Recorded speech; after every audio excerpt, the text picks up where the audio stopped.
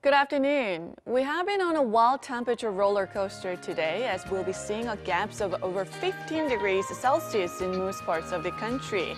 So cooler air is turning much milder as the day goes on.